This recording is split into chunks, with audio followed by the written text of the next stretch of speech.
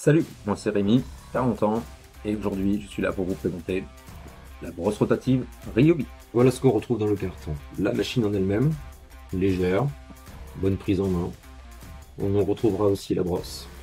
La petite batterie 4 volts qui se recharge par un câble USB type C, le câble, et le capuchon qui permettra d'isoler la batterie. Alors, la batterie c'est simple, on peut pas se tromper de sens, il n'y a qu'un seul sens. On insère dans le logement, ici, jusqu'au fond. Là, en même temps, vous pouvez voir que il y a le joint qui permettra de faire l'étanchéité tout autour. On vient le refermer et isoler la batterie avec le capuchon qui se sert. Voilà. La brosse, c'est tout aussi simple. Ici, on rentre dedans, on va jusqu'au fond et elle est prête. Derrière, on retrouve le bouton on-off pour l'allumer et mettre directement la première position.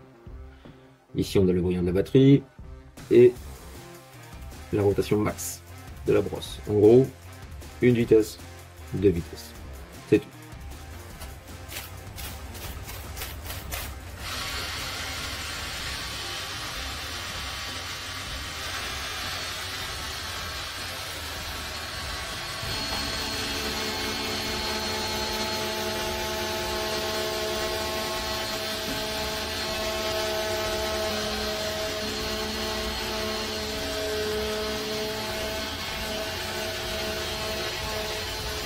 J'ai déjà nettoyé euh, ma paroi de douche, j'ai essayé et ça marche plutôt bien.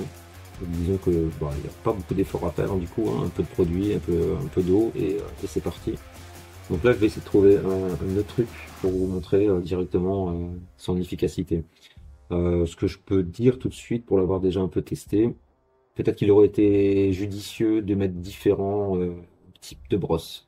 Peut-être celle-là et une autre avec un poil plus dur qui permettra de mieux euh, accrocher les bah, les saletés qui sont qui sont un peu tenaces parce que je trouve ça un petit peu parfois un petit peu un peu trop souple.